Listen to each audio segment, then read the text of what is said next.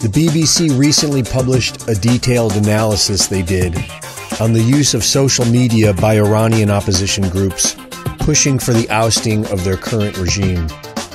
The BBC identified three main groups the MKO, Reza Pahlavi's Farashgard, and the Restart Movement.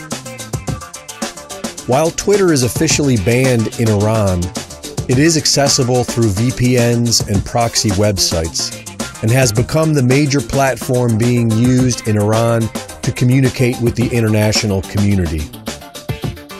By mapping data gathered from Twitter, BBC researchers were looking for inauthentic activity.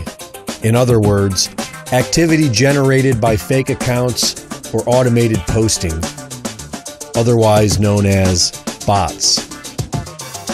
What they discovered was that most of the activity among the MKO and Farashgard was inauthentic. And Restart was made up of mostly unique accounts and appeared to be an actual movement of Iranian citizens. Regardless of this discovery, the BBC criticized the Restart movement for their tactics, which they wrote were intended to try and overwhelm individuals, and harass political and media figures. The BBC found that Restart was mostly targeting the U.S. State Department's Persian accounts, Secretary of State Mike Pompeo, President Trump, and Israeli Prime Minister Benjamin Netanyahu, which makes sense. The Restart movement has made it clear that they want friendly alliances with both Israel and the United States as well as constitutional independence that will include freedom of speech and the right to bear arms. This authentic social media campaign has not gone unnoticed.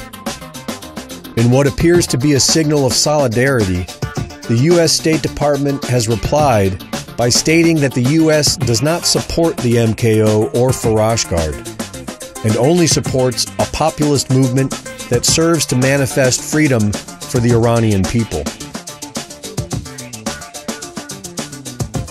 And now that the U.S. State Department has designated the Islamic Republic Guard as a terrorist organization, it is beginning to seem that Restart is getting the support they were looking for.